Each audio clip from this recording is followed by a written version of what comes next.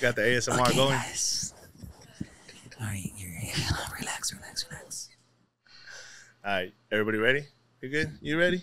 Let's get it. Man, A Toast To Life podcast, most authentic, most organic podcast. That that doesn't need, that one doesn't need to be on. No, yeah, that, every, we're fucked it up. Redo. Everybody got to redo. Everybody got to redo. Redo, redo, redo, redo, redo. All right, everybody good. A Toast To Life podcast, baby, most authentic, most organic podcast out here. Let's go.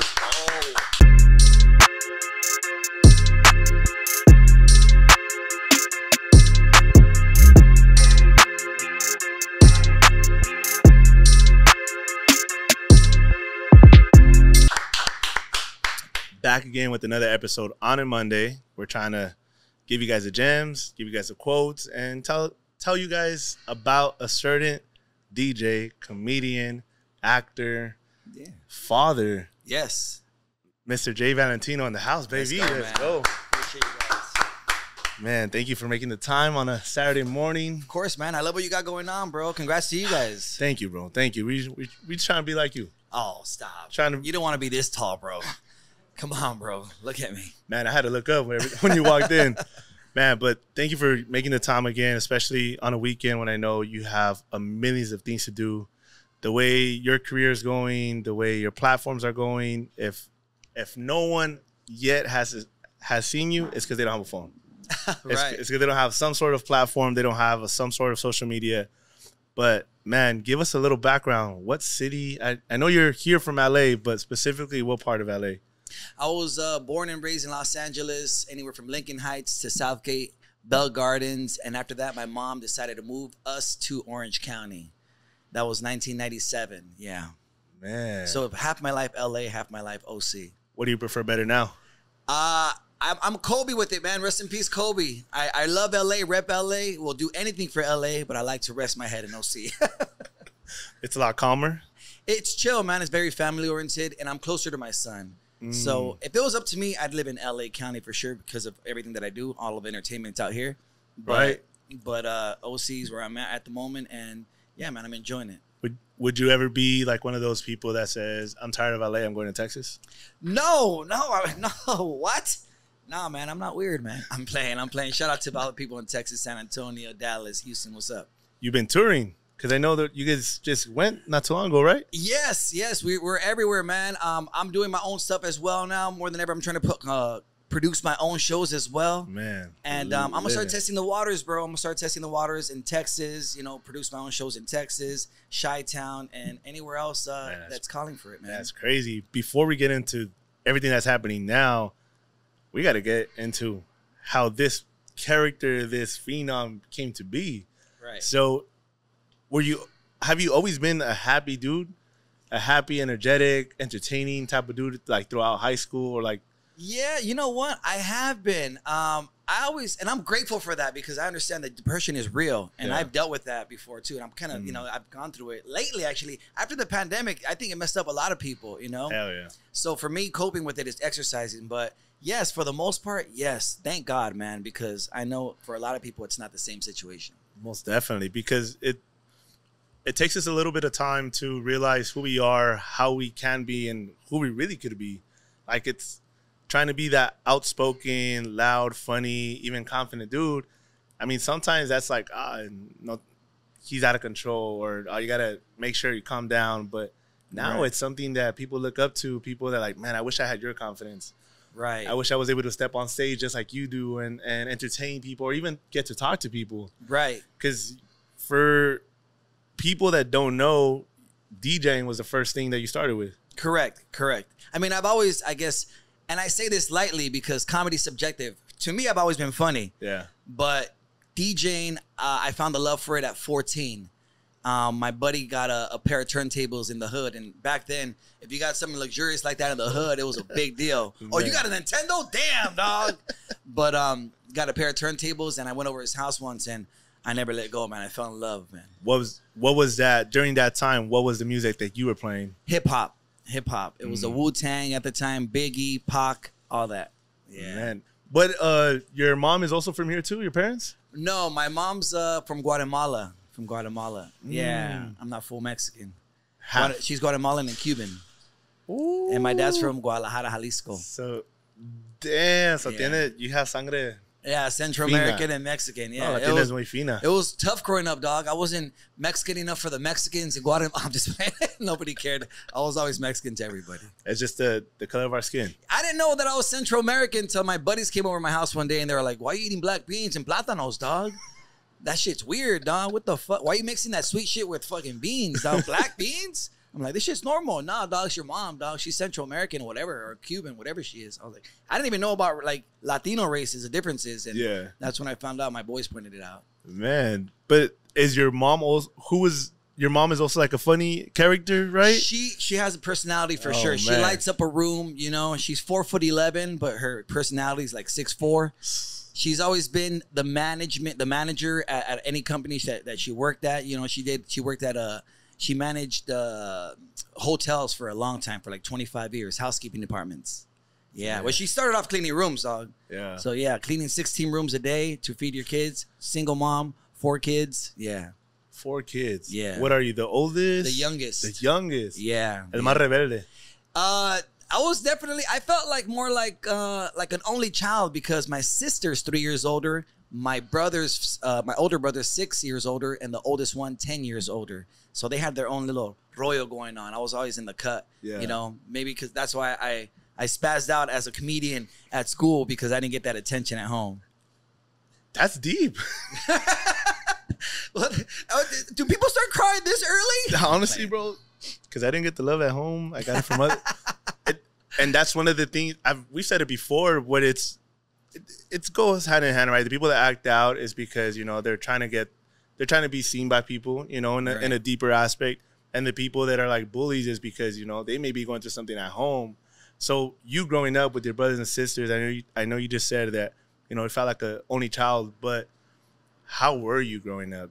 Were you like was there something missing or did you have all the love that you needed like Um, my dad, you know, he was in the, he was a peekaboo dad. You know, he was he would pop up every now and then. Hey, what's up? You want to go out? And I'd be all happy. He'd take me out to eat. Yeah. You know, uh, amusement parks here and there. Yosemite Park was that was that was a big deal back then. Um, but yeah, that was that was you know he wasn't that present for sure. man so kind of it's a tough one right growing up but i'm sure because being who you are like just going outgoing lighting up the room how you said your mom lit up the room but i know you know now that you also light up a room I like to think so. Yeah. so starting with djs how was that first gig you ever did Oh, I sucked, bro. I sucked. I sucked. Talk us through it, man. Yeah. what was it? A quinceañera, I, bautizo? I bombed, dog. I bombed. It was a, a high school party. It was like I was like 15 years old. My speakers were like not DJ speakers. They were made out of wood and shit. You know, my headphones were freaking like the ones that just you know they're plastic and they're all small. Um, my my vinyl was I had some bangers, but I was I didn't know what to play. But and people were like, "Hey, why are you playing this shit, dog?" I'm like, "This is dope. This is Ice Cube, okay? yeah, but it's not one of his hits." so, this one's the one that didn't make the album. Yeah, this is the one. Yeah, this is an album filler. so yeah, I, I I didn't do that good. Yeah, just like anything else, you don't start off amazing. So how do you keep going?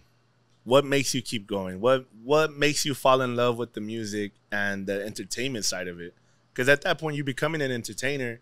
You're lighting up the room. You're controlling the mood of the room, right? Like you're at a party quinceañera, no one's dancing, and then bam, viene la música, and then ah, vente, vamos. Um, I thankfully for me, you know, I was a strip club DJ for 18 years, so the MC thing comes natural to me now. You know, when you, when you're spending 30 hours plus a week on the microphone, you know, hopefully you know how to rock it. So. The maestro de ceremonia that helps a lot, and of course your music selection and all that other stuff, and Yeah. the technical side, of course. But my mom always has a phrase about me, be like, "No, ese Valentino despierta muertos." So yeah, I like to go in there and and lift up the room. You know, Yeah. Again, if they're a lot of people are naturally introverted. You know, most Yeah. people I want to say are more introverted than than others. For sure. So I like to go in there and like really break that barrier and get on the mic and point people out, talk to them. You know, be intimate with them, engage with them, Yeah. and then bring them in with the music. Did you have to break that within yourself too, or Oh yeah, totally for sure. Because when I first started strip, uh, DJing at the strip club, I thought I was gonna go in there and kill it. Oh, I have a good personality. I'm gonna go in there and kill it. Bam. I got behind the mic. I was like, uh, here she is. Uh, sh- she has daddy issues and cinnamon. Song one. Can I get a water, please? Gotta get. Anybody got a water? I think they're behind the bar, dog.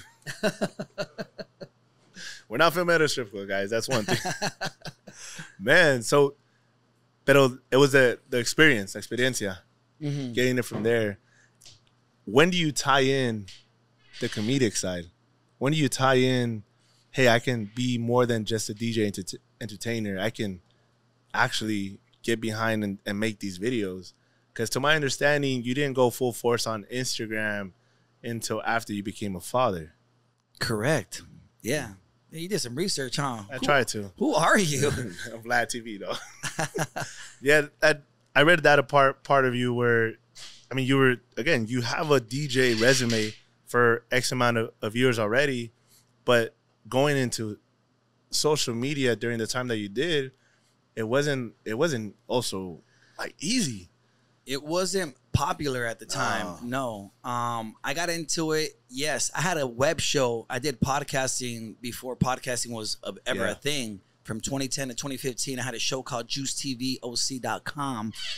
And we streamed it on a thing called UStream. That platform only lasted about five years, and it had its run. We had we did great. We did great. Yeah. We had uh, you know big artists, and we had Metta World Peace on there. We had Afroman. Oh, I'm not name shit. dropping, but these are the guests that I had. Yeah. You know, we had Felipe Esparza, everybody. We had everybody on there. It's where comedy and music met. Yeah. And that's what I. That's all. I, all I've You known. were starting mixing them in.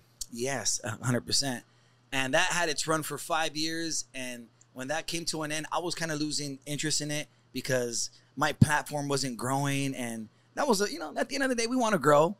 And um, I was putting comedy on the back burner. You know, I thought that just having the comedians around was enough. Like, nah, that's cool, Mm. but I'm not being, I'm not delivering the entertainment.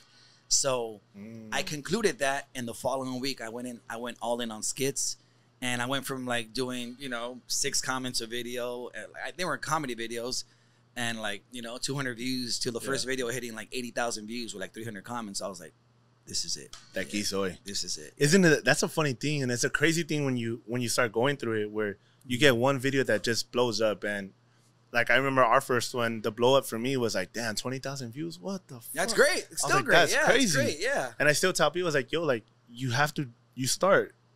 You're gonna probably post ten videos, and maybe the ten no pegan, Yeah. but maybe the eleven does, or maybe the fifteen does. But how do you know it's gonna ever blow up if you're not posting? Right. and it's the consistency, right? You're you're po- you're putting one video per day. Like before when we started, I was dropping three videos a day and mm-hmm. four and five.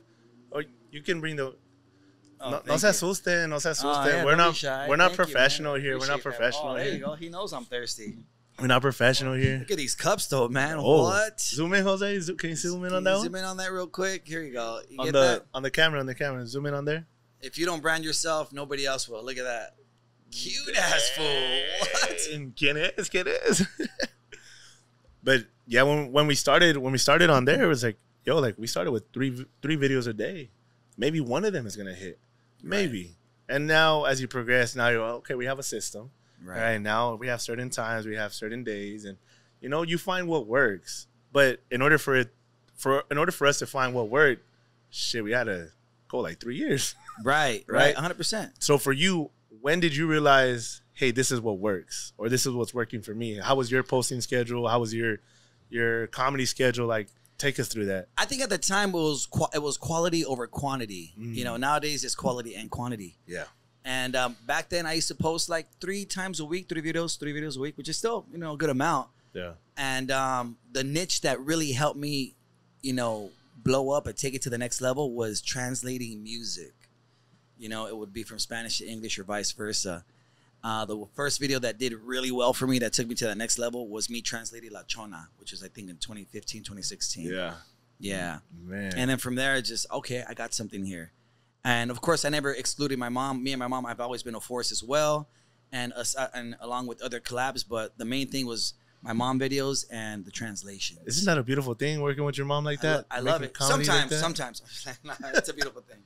Yeah, because like when people watch your videos, like you, you collab with other people. Obviously, one of one of your good friends, best friends, Concrete, um, what and other com- comedians and other actors. But then you see the ones with your mom, and it's like, man, having that duo, having that relationship of a, not just work wise, but this is like, as he's on Alpha Camera, I'm assuming, right? Yeah, it's pretty organic. It's pretty organic. Yes, that's exactly how we are. It's it's natural. So how do you know? feel when like videos like that with your mom pop off? Oh, I'm, proud, bro. It makes me proud, you know, because you know, once again, it's comedy subjective. You don't know what it's gonna do. What I find funny, you don't find funny, and vice versa.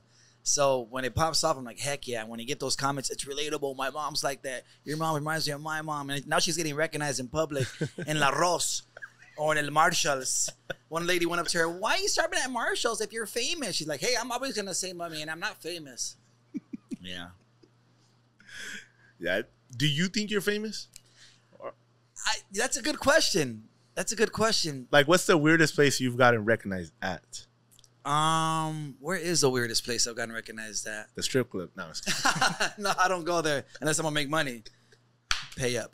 Um, where is it? I think it was. I don't. I- You know, this brings me back to the first time I got recognized. I was like at 10, 12k followers, and it was in Pomona at a Northgate. No, no, it was a Cardenas. It was a Cardenas market. The lady's like, "Aren't you JValentino?" I was like, "Yes, yes, I am." I'd like to pay for these tortillas. Unless you're gonna sponsor me, I'll tag you. No, no, no, no. No, tienes que pagar. No tienes que pagar. Man, and now with so many, so many, so many millions of views later, so many shows later, how does your DJing, your online uh, skits translate to your stand up and to being now hosting shows? Because you went on tour, you're going on tour. Even that is a whole different monster, right? Like, comedy is the rawest form of uh stand-up comedy is the rawest form of comedy stand-up You'll- comedy is you'll know if form. you're you'll know if you're funny at that point or not, right right? away right away and the crowd will let you know i don't they don't care if you're kevin hart or adam sandler if it's not funny it's not funny and um it's uh it's been a crazy transition but it's easier said than done to get all because people will be people will be like valentino why don't you just get the video material that you have and put it into your stand-up i'm like yeah motherfucker you try it it's easier said than done um, putting everything in a comedic form and stand up is easier said than done. And uh, but I've been able to do it, and I'm working on it, and it's been great so far, man. Of course, you have your bombs here and there, but that's just a part of the game. so when you bomb that hard during the show, what's your train of thought? How do you get back up from that? I get inspired from my L's, but yeah, I'm not gonna lie to you and say I don't curl up in a corner and rock back and forth in the dark, dog. Of course, Yeah. I go through it, of course, but I, it inspires me. I'm like, okay, I got to go back to the drawing board. I got to go back to the drawing board. But you know what inspires me and keeps me happy, uh, you know, like content is that I hear that other comics that are very established still have their times, their Mm. their nights, Yeah. and they go back to the drawing board, and they've been doing it for 15 years. Did you ever imagine a young Valentino being on stage now, hosting shows, touring? in the back of my mind, yeah, but I wasn't ready to face my fears for a while. Mm. And that's what it's about, facing fears. People La- run, run. People want to run away. Yeah, bro. Like last year, I wasn't uncomfortable or nervous one time. If you're not uncomfortable or nervous, I don't think you're doing shit that make that's that's gonna make you grow. When did you realize that? This year, this year that I'm I'm, I'm doing uncomfortable shit all the time, going to going to the gym five times a week, and going on stage three four times a week. You know, Man, crazy. You know, I don't post it all the time. I don't post everything I do. yeah. I'll be at a restaurant in front of old white people. You know what I mean? Trying to like make them laugh, and sometimes it hits, sometimes it doesn't. is there a certain is there a certain time where you practice or a certain group of people that you practice your your skits with, your comedy with, and like before you go on stage, or is this raw? No, man, it's just me most of the time. I'll run it through a couple of my boys here and there, but Mm. most of the time it's just it's a lonely sport. It's like boxing. yeah, Really? yeah.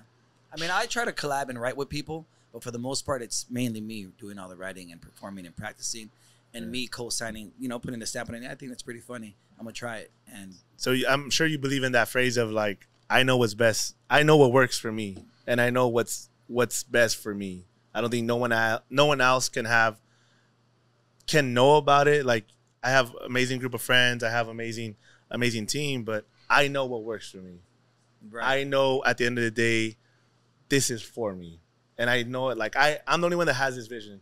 I've heard it before, where it's like, you you're the only one that can see the dream the way you see it. No one else can. Right. You see your vision in your career a certain way, and you can tell it to people. But in order for them to realize or see it the way you do, I don't think it'll ever it will ever happen. Right? I think so. But through with your career, because again, you're so you're a man of many, of many hats. Mhm. You have the entertaining side, which it corresponds with everything, but then you have you bring people together through music. You bring people together through laughing. And I actually see I did I did a little bit of homework, bro. I did, did a little bit of homework where um you had said something one time in an interview, and I'll tell you exactly what you said. Maybe I'm right, maybe I'm wrong. This guy's good. No wonder you guys work with him. wow. Wow. It- you said if you're not laughing, you're not living. Yeah. 100%. Elaborate on that, por favor. If you're not laughing, you're not, you're not living, man. I mean, bro, that's releasing endorphins is what it's all about, you know? Yeah. Most girls go for the funny guy, you know? It's it makes you feel good. It's in it, it's an emotion. Yeah. It makes your heart feel warm, you know? I draw to the I draw I tend to draw to people that make me happy, and most of the time that's through laughter. Mm. So yes, 100%. Yeah, de- definitely. You can cure a lot of a lot of things with laughter. You can have a shit day. You can have a hard day. You can have, man, just a ho- horrible moment. But Right. someone makes you laugh, and like, man, Those been the best comments, man. Bro, my mom just passed away from cancer. Your videos keep me uplifted. yeah, That's amazing, bro. If if that that that's it. That's like my like Yeah. that right there is the biggest payoff. Like right there. can't put you can't put a price on that. Can't put a price on that. That's the. There's there's moments definitely where it's just like you know what. There's moments definitely where we work for for a better living, right? For a better life, for our family, for ourselves. Obviously, in order for that to happen or be a little bit comfortable, we need money, right? It it goes with it, but I always tell people like sometimes money can't buy this No. in these man. moments like you know maybe have you had a moment yet when you're on stage and you just look out to the crowd and be like damn I'm doing Oh yeah, this." for sure, bro. For sure. Yeah, and it's it's very surreal. Like what do you remember when's the last time you had it or when's when's the like damn i made it moment for you it I don't like to say I made it because there's uh, levels to everything. correct You know what I mean? But Correct. one of them was like definitely like when me and the guys, Los Toxicos, me, Jerry Garcia, Jesus Sepulveda, Concrete, we uh sold out um El Farallón in Lynwood. ooh That was 700 people. dang And I opened up the show and I hosted the show. And it felt good, man, because I prepared a lot too. And I went out there and lit up the crowd. And that felt great, man. It was really good. I felt comfortable too. That that was a big deal too. man i think you, you you get those you get those moments you get those you get you get those moments and you get you get that time where you're like a little reminder i'm doing it i'm really i'm doing what i'm meant to do i'm i'm here where where i was supposed to be and this is a reminder of like all the struggle all the hard moments you've been going through maybe not blowing up maybe not good numbers but this is the like hey here you go let me let me remind you how good you're really doing Right. And sometimes you have to get it from the external, you know, because we're all our own worst critics. We're all we all get in our head, dog. Yeah. Like, damn, did she really like me? Nah, dog. She thought you were too short, huh? Now, like you get in your own head. So you got to remind yourself that, yeah, you're doing something, man. You're not. I like to. I don't. I'm not. Competition doesn't drive me. I just want to be better than I was yesterday. That's it. I have horse blinders, bro. I don't see anything. People are all like, "Oh, you do social media? I want to do it, but there's a lot of competition." I'm like, yo, who gives a fuck about competition? What do you? Who you comparing yourself to, bro? You just got to be better than yesterday. Fuck Yeah. all that. yeah and and my that's my ADD helps with that. I don't I don't see anything or pay attention to anything. I'm just I think that's one of the things where it just it prevents people from doing what they want to do, which is start in whatever they do, whether it's a business, social media, a sport, the gym. It's comparison. mm, it's the thief of it's the thief of joy. Yes, correct. I can't I can't go at this time because that's the hour of of these big ass people that go to the gym. I'm not strong enough. I can't work out with you because I'm not strong enough. I can't hang out with you because I don't have the numbers to hang out with you. Mm. It's like, dude, we all start somewhere. yeah, And what's the best thing you can ever do for yourself is show up for yourself. You Mm. owe it to yourself. I love that. You owe it to yourself, right? Because you're always gonna have the people around you if you're surrounded by good people that want you to win. Like, bro, I believe in you. But if you don't believe in yourself, Yeah, that's where it starts. That's That's, where- where, it starts. you know it. I can't believe in you more than you believe in yourself. I always use the example: if your car is stranded on the side of the road, and you're inside your car, cars are just gonna pass by you.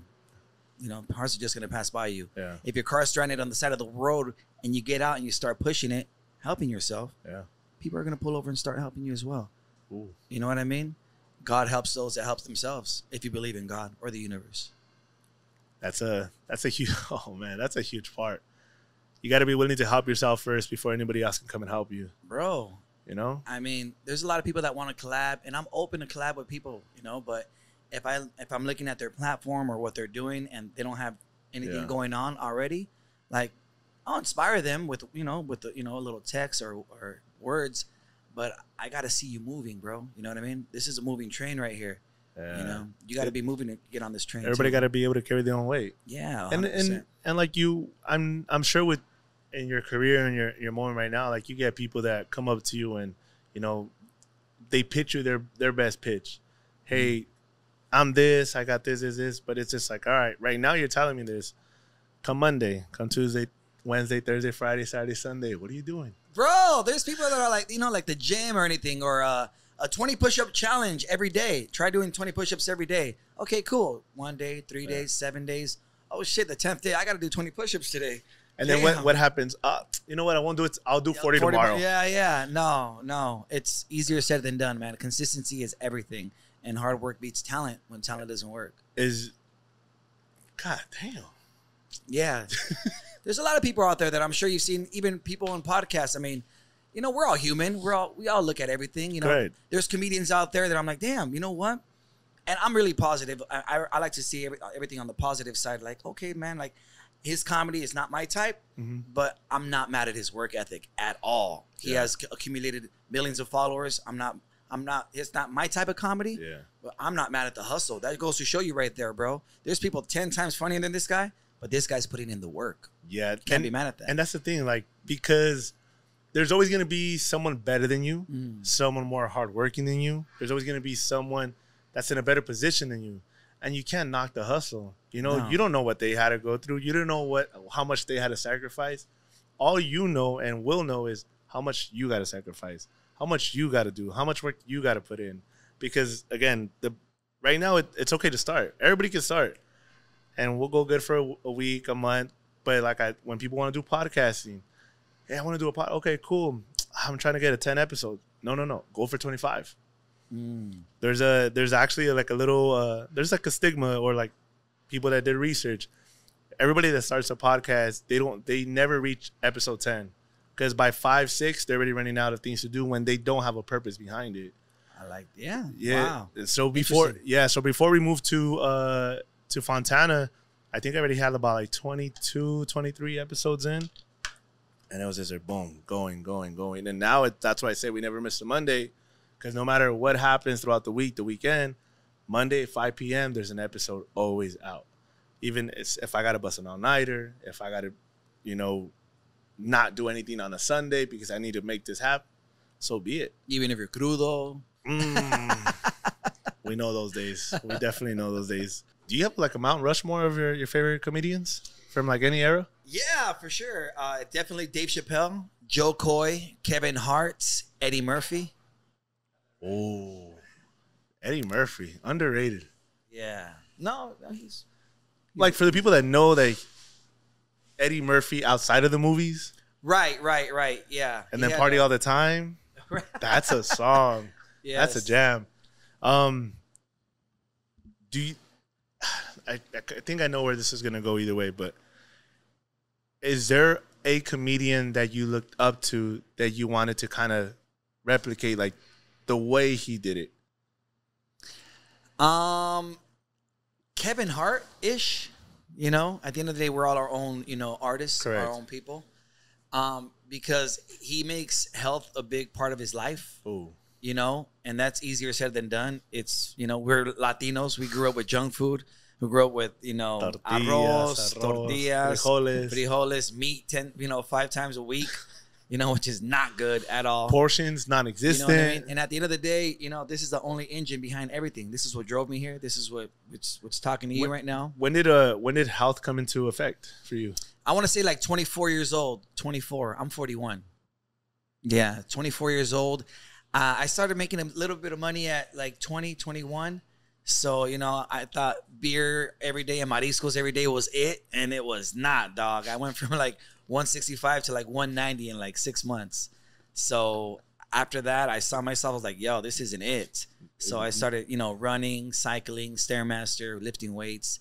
And uh, ever since, I, I pretty much never stopped. What did what when you're working now? Is that like your safe space now? Oh my God, it's everything, bro. It's, let's talk about that. Yeah. It's everything's connected, brother. Everything, man. It's clarity. It's it feels great. Nobody ever regrets a workout. You gotta, you know, release that. It's you need that. You need that. It's it's a Yeah. it's tuning up your car. It's it's tuning up your engine. It's um it's but it helps with with this. For me, it's more about mental. And during the pandemic, I was running about six miles a day. Is this Forrest Gump that we have on the podcast? God damn. Yeah. Can't even run one right now. And who can run a mile right now? Besides Jay. Besides Jay. I'll walk a mile. I'll walk it. I'll walk it out. Um, yeah, because honestly, like developing healthy habits, developing a system outside of your work to keep you sane. Because man, and being in entertainment, being on social media, going on, going on, going nonstop. You may have one day of break, you may have an hour of break, but there's always something going on, and that's what like I tell people, learning it now, because the same way, like I had to learn it a whole two years later of, oh shit, you don't always have to say yes. Oh, you don't always I have to go that. out. I like that. Well, you don't always have to And drink You live and- at a young age. How old are you, brother? Uh, turn 28. Oh, Just turned you're, 28, You're a young yeah. guy, man. You're a baby, man. Hell yeah. yeah I, li- Oh. I love what you got going on at that age, man. Thank That's you, really bro. good. See, y'all motherfucker call me old over here. Nah, man, he's a baby. Stop. Oh, because he's 24. He is a baby. Yeah, yeah. But I see. I can see your diaper from here, bro. You gotta hide that better. Your ass looks all fat. That looks pretty good though. No, it, never mind. I won't even say it on the phone. but yeah, like developing habits, and I think that's one of the things where I had to learn myself that you can't keep everybody happy because there's they're they're always gonna want more and more from you. What more can I take? What more can I get? Until you finally make that like, hey, no, this stops now, and it stops now because I need to put myself first. Now I got to be selfish. I have to make decisions for not just me now, but for my kids, for my family, for my loved ones. Mhm. Because the more you keep on going, like it's like a car. How you were saying the analogy earlier, you're gonna have to service it at one point. Yeah. And when are you gonna service it? When you have 0.5 percent oil? Right. Right. when hey, when they're trying to dump out the old oil, ya no hay nada. right. It's like hey, like you're gonna crash, and it's gonna be hard. And once you come back from that, like depression hits. I know I had to go through that right away. Where I'm gonna take a step back because I was like, dude, like, why am I going out having fun, making everybody happy? Ando triste, güey. yeah. La vida me está pegando durísimo on camera. I'm happy, you know, giving good advice, and then at home, like, fuck, who are you? Right. You know, how much did you have to give up in order to be here? And I didn't like what I was giving up. And now suffering the consequences of previous actions. And that's what it takes. That's for me, it's maturing. Hey, I'm okay. I understand this is, I did this. I understand is my fault, not nobody else's. There you go. So, um, for you, when was, did you have that moment, that change? of, like, Who is this? Yes, it was 2015 around like October or something. I remember because I was drinking a lot. Mm. And I'm a DJ. I was just DJing at the time. But uh as a DJ, you know, they treat you like a hot chick. You know, you never have to pay for drinks. and um I was drinking a lot at the time. I was working at a, a strip club called Sam's Hofbräu. Shout out to Sam's. And I was holding my baby. He was about seven months, six months old at the time, and I was super hungover, Mm. and it didn't feel right. It didn't feel right at all. I was like, "What am I doing? What kind of parent am I becoming?" Yeah. Like, I read a quote on Instagram the other day. It said, "A lot of people will die for their kids, or grind for their kids, or go hard for their kids, but will you get healthy for your kids?" Yeah. I tire my little eight year old out. I love that. I love it. I'm like, oh, you're tired now? What's up, dog? I'm 41. You're not keeping up with your old man? He's like, I'm tired, Dad. I need some water. You know, when we go to Sky Zone, when we go to Chuck E. Cheese back in the days, Yeah. I'm in there with him. I'm not that parent that chills out at the table and you know, just you know, no, I'm I'm in there You're with him. active. I'm active with. We play dodgeball at Sky Zone. I'm in there with him. Don't him. tell me you hit him in the face. Hell yeah, of course. You got to teach that kid some. I'm just playing. No, man, but I, I'm. I that's when I, that was my point right there, and Yeah. And at that time I had stopped for 4.5 years. I went with no alcohol. Um, California sober. I'll smoke weed every, every now and then. I never said that on a pod, by the way. You got the exclusive. I'll smoke here and there. Functioning stoner. Uh, fun fact that and those and from like 2015 to 2020, I was pretty high in most of my videos. Not all high, but you know, I was, I was a little. Yeah. Um, and most of my ideas were high ideas. That was pretty cool. What's that uh, movie? If you study high, you take your test high, you get high, high scores. scores. How high? but uh, that was it. That was my point right there, man. And and I did that for four and a half years. I relapsed on September in 2020. I, you know, after the pandemic, I'm sure a lot of people did if they were Yeah. sober. And um, I'm back at it again, man. I'm on 67 days sober. Man, congratulations. Thank you, man. I'm doing crack now, which is weird, but I'm kidding. And um, 67 days sober, and um, I feel great, man. I feel great. they give him some time to recover right there. That was a good punchline. like I'm proud of you. Congrats. I'm doing crack. I'm doing crack now. My- Let me put my pipe on the side. It's messy. I like that. This is what it's all about right here. it's gotta just. You're right. Left hook out of nowhere. It's good. Man people yeah i love i love what you said about being a father you know what what fathers would do for their kids and their families. And again and, and i talk about this a lot more now too because i had to come to terms with what i was doing. Wasn't being around because i had to come to work but my work turned into i got to make everybody happy. I got to make sure that i'm living that mm-hmm. lifestyle which is going out partying you know being everywhere. And so i was like what am i doing? Right. I'm I'm progressing. Everybody's happy, but I don't like the person that I'm becoming because now I'm putting myself into a hole where no one's gonna get me out because I'm doing it to myself. Until literally I had to right before I forgot exactly what podcast we were doing. uh, Guys, I'm not going out no more. Mm. You know, we're gonna record, we're gonna go eat, I'm going home. I'd rather be home on my own or something very, very chill, but I don't wanna be up out two, three in the morning because it got bad, bro. Like, Let me make this clear, bro. Sorry to cut you off. Let me make Go this it. clear. Alcohol's dope. Yeah, Alcohol's it's fun. awesome. Alcohol's fun. I'm not that sober guy that's like, hey, you shouldn't drink, you know, blah, blah, blah. Yeah. I'm not that guy. Everything in moderation's okay, I think. Yeah. You know? Um, but what is moderation with alcohol? And what the thing with alcohol is that it's a progressive drug. What got you drunk last week isn't gonna get you drunk this week. Yeah. Last last week was two shots. This week is three shots, and so forth. Yeah. It's a progressive drug, and I'm you know enjoy it. And you're young, so your Yeah. body can handle it too at the moment. Correct. But there has to be a point where like, damn, dog, this is, it's you know. I will say this: when I took a step back and I started making better choices, things started working out better and faster. I was I was now progressing at the rate that I knew I should have been. of course, I'm bro. like, you're in your five senses, no hangover. You got clarity. Of Yeah, course. more money in my pocket. More money in your pocket, bro. You know, now- you get aroused way better, bro. Stronger than ever. Stronger. All right, so on the en el tema de, de tu hijo, your son is eight. Eight years old. I know you said at the beginning of this podcast that you know your dad was a peekaboo dad Mhm. every now and then. Did that when you found out you were going to be a father? What was the emotion going through there, and what were your set out? What were your what was your plan to set out to be? What kind of father? Present. Present. Yeah, there.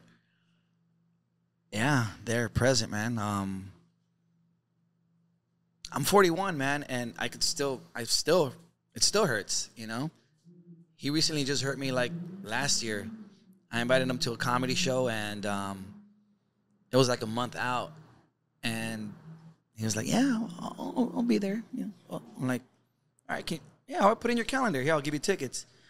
Uh, well, maybe you know, can't commit to something a year from. I mean, a month from now. Uh, maybe I'm like, all right, all right, and he didn't show, and I was like, damn, how how the fuck can somebody still hurt me at 40 years old? So that shit doesn't go away.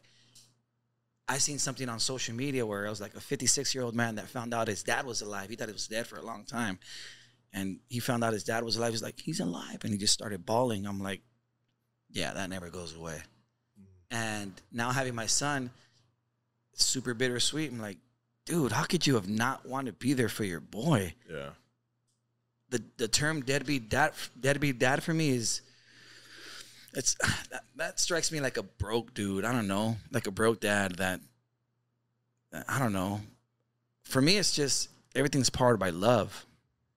What did uh what did your son your what did your son change in you from the person the Jay that was before being a father? Selfless. I'm selfless now. I wasn't too selfish, but yeah, I was all about myself. Selfless, and he made me grow. If a, if a little kid doesn't inspire you to be a more a bigger man or a bigger person, I don't know what will, man. I don't know what will. Did he teach you what love was? Hell yeah, man. You kidding me? What was your definition of love prior to your son? Um, I guess just being um, being present, being there. I, mean, I guess the same as now, but it was probably um, active services, you know, helping, you know, which I still like to do.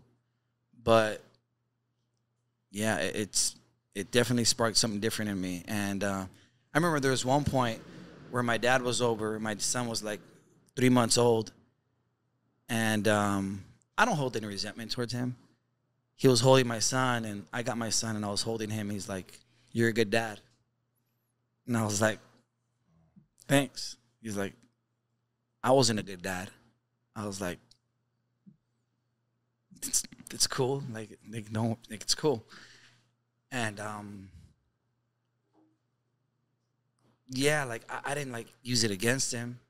He's like, I'm sorry I wasn't there. I'm like, nah, it's cool. I'm like, but I did I did um I did feel it, you know, and then especially because I have my son. Like, how could you not want to be there for your kid?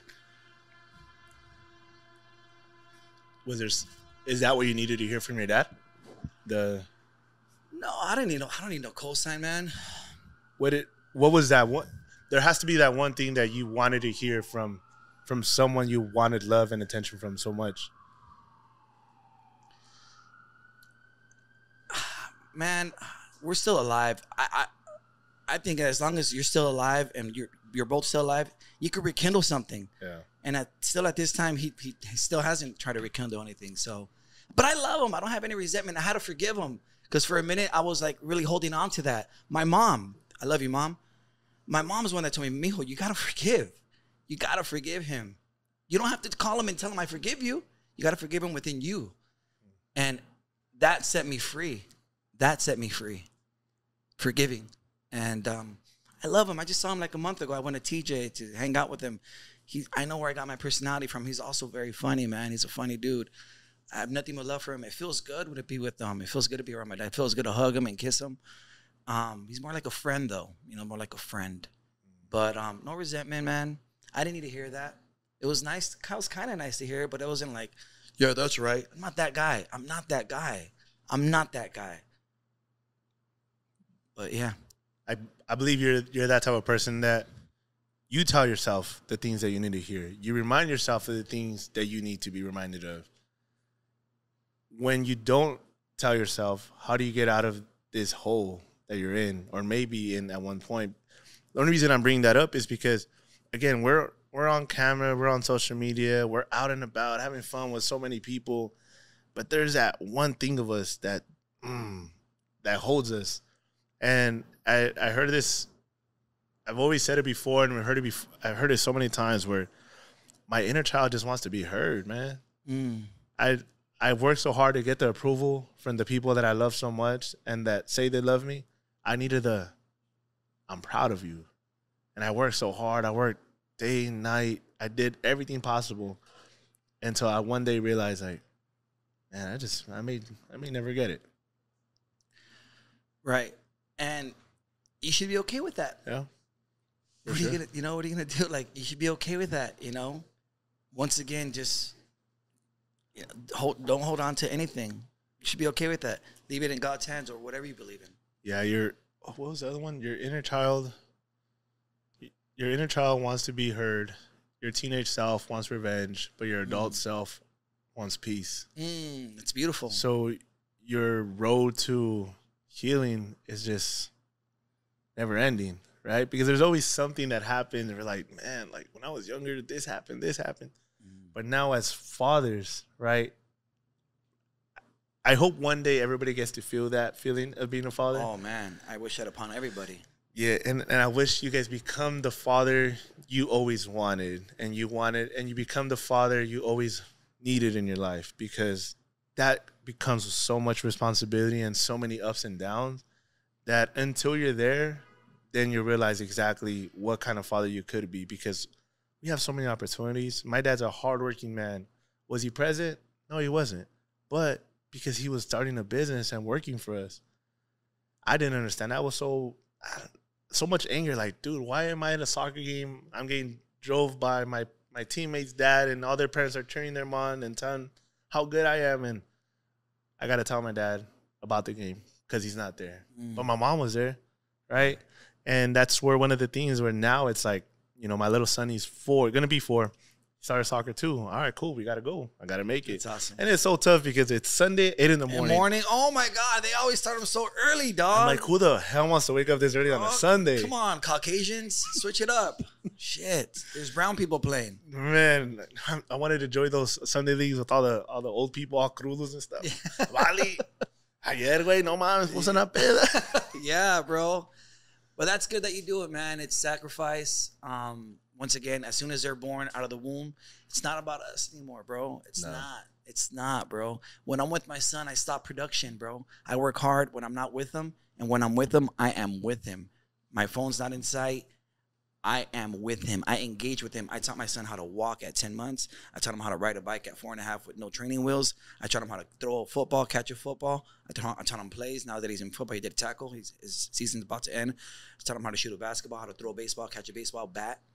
I taught him how to ride rollerblades. I taught him how to ride a scooter. I taught him, I, I'm there. I'm there. I show him how, oh, we ride mountain bikes too. We also go mountain bike riding, Caucasian shit. And um, he eats shit get back up. I taught him how to be relentless, I guess, you know?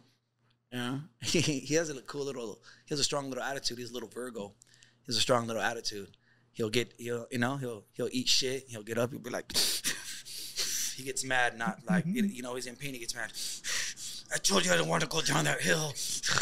I'm like, Papa, you're good. Are you good? And sometimes, you know, it's hard not to laugh as a parent. It's hard. Yeah. You've had those moments where it's like you've got this little man toughening up on you, and you try not to laugh, you know. Yeah. And I hold it in. The baby's mom checks me all the time too. Shout out to the baby's mom. She's a great mom. Thank you, Lisette. Um, I'd be like, hey, buddy, hey, you good? He's like, yeah. I'm like, are you gonna quit or are you gonna get back on? I'm gonna get back on. So yeah, so I teach him how to be relentless, and that's just being present. And once again, that's something I didn't have, and I I had to learn with time. And I think I was a late bloomer. And actually, I know I was a, a late bloomer. I remember I'd see these kids at 19, 20 starting a business, but then I'd look at their dad, and they had a solid ass present dad that was doing it as well. You know, because kids don't do what they what you tell them to do; they do what they see you do. You know. You became the dad you always needed and wanted. Yes. And I'm only with them 20%. I get them on weekends, but those 48 hours, I am with him. And I'm excited about next week because he gets four, he gets the week off. So I'm gonna have him four sleepovers. So Oh, when I'm with him, I'm with him. And he's he's gravitating towards me more, which is something I wanted. Because every time he spend the night at my house, he spend the night with grandma. You know, which is great because they also have their, their, their relationship, they, they bond. yeah. But now he wants to sleep with dad. Yeah, he wants to sleep over at dad's house. And he's super Caucasian too when he sleeps, man. Dad, can you YouTube some ocean sounds? Like, you want to listen to ocean sounds? Yeah. Can we also put a nightlight? I'm like, yo, whoa. Okay, Chad. Okay. We used to have gunshots, police Yeah, sirens. that, that was your. Can I prende la luz? Paga la luz, güey. Vas a oír el bill. Man, it, fatherhood is one of the best things in the world. Yeah. And like how we said earlier, if you're a part of it, I know Chris is a new father and Hey, congrats, You Chris. know? Hell yeah. I was a papi, papá de los pollitos. Hell yeah. Oh, I already knew that. My bad. I thought it was another Chris. There's a lot of Chris's. Hell yeah, man. Don't be a sour apple with your son. Uh, and it's one of those things where, like, how you were saying, and um, trying not to, trying to be serious with my kid, even though, like, I know if I laugh, it's gonna break character. Oh, dog, it's so hard. Yeah, it's shout out to their their mom, and he's like, dude, can't be always nice. I'm like, dude, that was funny. I'm sorry. Yeah. Because even like we're oh man, Target's the worst for me. I'm I'm a yes man. We go to Daddy, just one toy. I don't have this. I'm like, okay, fuck it. Yeah. And then get home, you bought him another. I he bought it. Ah, yeah, I, I stopped that, man. I stopped that. He's so fortunate. He's so fortunate. The last three Christmases and birthdays, I'll ask him, hey, buddy, what do you want for your birthday? He'd be like, um, um. I'm like, bro, you know why you don't want, why you don't know what you want, right? Because you have everything. He's like, uh, and I'm like, dude, you're blessed. What does that mean? I don't want to talk about it. He's funny, man. He's hilarious. There was one time I was like, buddy, you know, as far as school, man, just stay focused on the work. You know, don't forget about girls right now. You don't have to worry about that. Yeah. You know, just stay focused on the work. Just forget, you know, don't worry about the ladies. He's like, you should do the same, dad. I was like, wow, look at the comedic weight on this kid. He's funny, man. He's funny. Man, um, all right, so really quick, everybody sees your relationship with Concrete, that dynamic duo, that like brotherhood type of thing that like it feels and it sees like you guys known each other for so long, Mm. but to my understanding, son como unos cuatro o cinco años Like three, four, four years. off of a video shoot. You guys locked eyes. Yeah. yes. Got A my Frank- research, Chris. I'm telling you, dog. Frankie J video shoot. Yeah. Uh, I strongly believe that iron sharpens iron. You got to hang out with people that elevate you. You know, shout out to Khan. Super proud of him. He's selling out every show that he does. Um, he's you want people to get you out of that comfort zone to level you up. He's made me do a lot of different stuff that I was uncomfortable with, and I'm super happy that I did. Yeah. He, uh, you know, made me, you know, he inspired me to do characters on on videos. He inspired me to um, go on stage in front of seven to ten thousand people and do a character. You know, uh, insp- he inspired me to get out of my comfort zone, which I believe that if you don't have a friend that does that, you know, you gotta actually surround yourself around people Yeah, like and, that. and that's why I bring that up because friends, friends could either make you or break you. So Yeah. throughout your journey, especially right now, did you see like your friend your friend group changing, or like what like what's that circle internal circle for you? Like what does that look like? Who does it Who does it consist of? Um, for right, I mean, I don't know, my mom, you know, um, my immediate team, my cousin, uh, Jr. True Hustle Podcast. Um, it- it's a small circle, you know, because a lot of people come and go too. You know what I mean?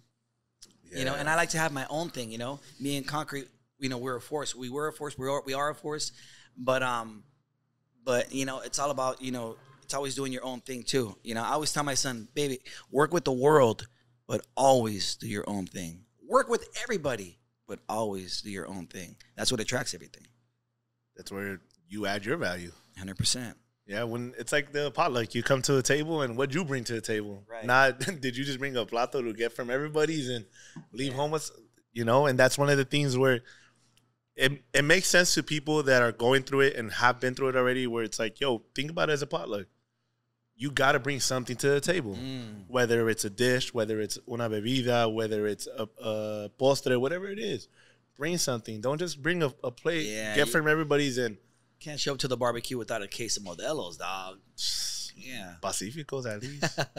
but if my dad's there, a Bud Light, you know, Oh, Mexican. still? Wow. Oh, no, me- son agua, son vit- vitamina. Because it that's again like I I told this to somebody the other day where it's like we're so relatable right now to everybody because we look like them. Mm.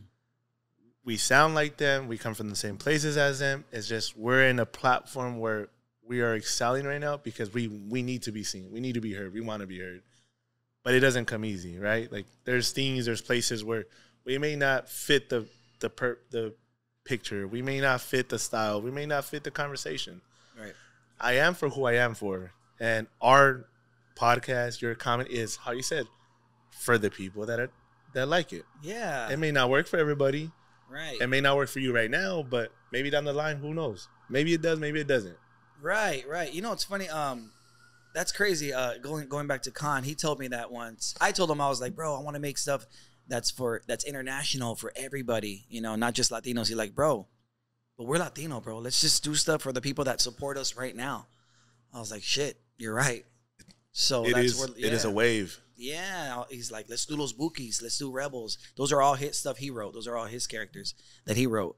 And I'm like, damn, you're right. And that's where the core is, the people that back you up, and then from there you expand. Yeah, building that community where no matter what you bring, no matter what you do, what you showcase, like because they love you and love how you do things, I'm gonna support them. Yeah. I'm gonna I'm gonna be there. I'm gonna support them, and and man, it, it trickles back to what we said at the beginning. It's just a matter of you're great. Just the world needs to see how great you are. Mm. It's just a matter of time, right? Like this is where friends come into a place.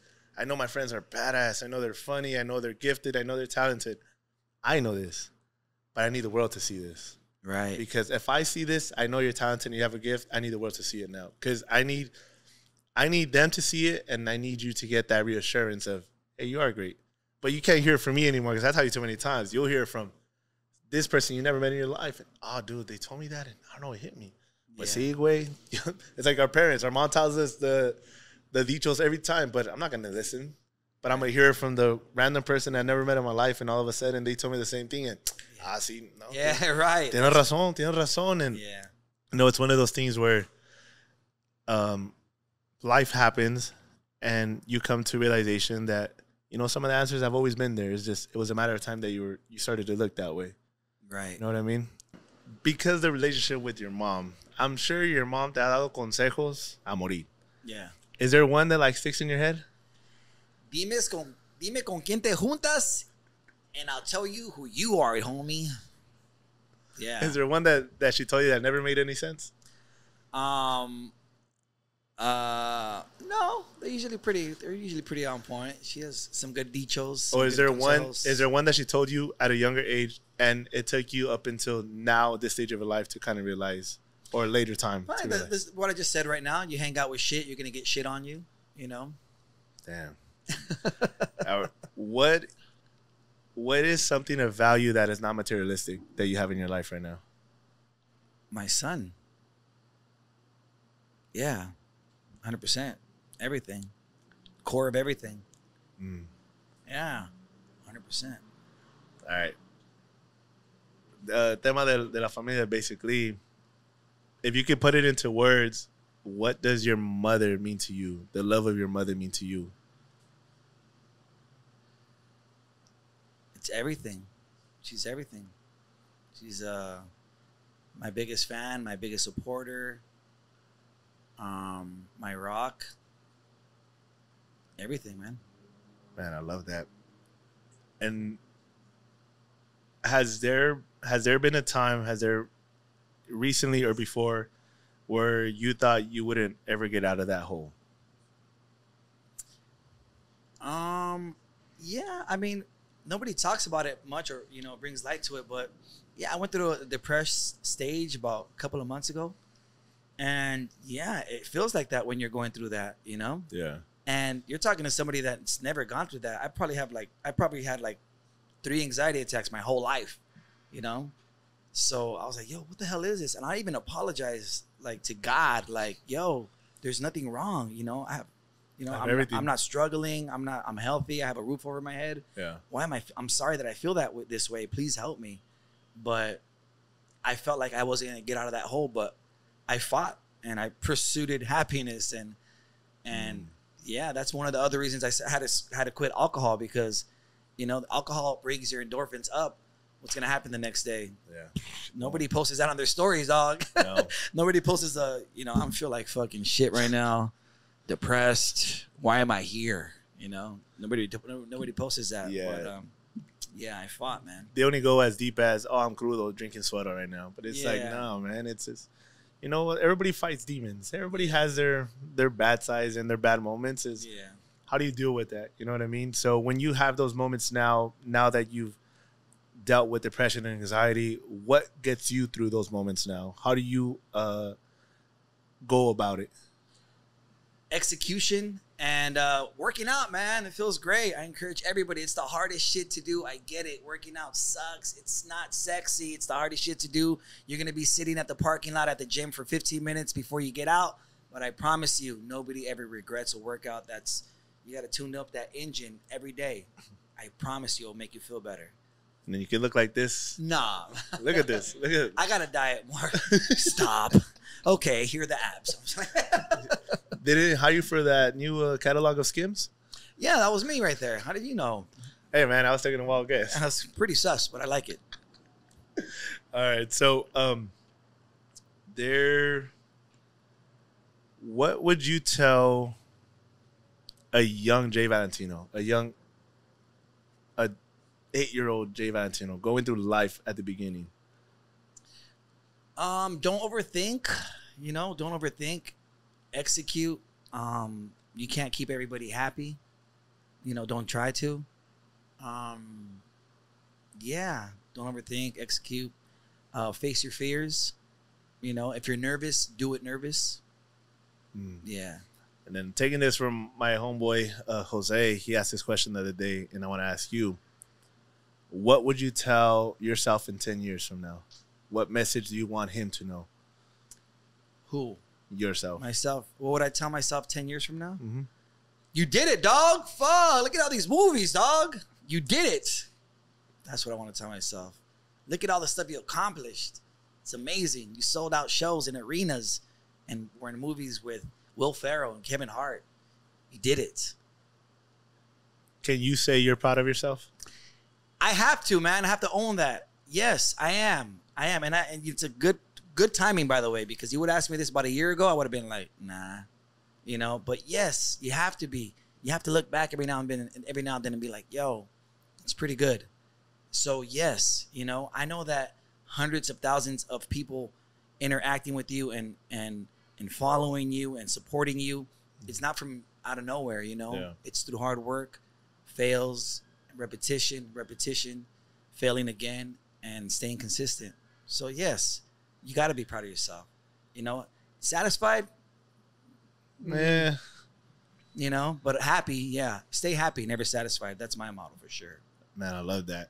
And pretty much wrap it up, man. What can we expect from you, or what's in the plans? Are you ending the how you ending the year, and what's coming in? in the More shows, uh, two movies coming out, Orchata and Oat Milk, one with Rancho Humilde, more shows in Southern California, all over the United States, uh, more movies, and more podcasts with this guy right here.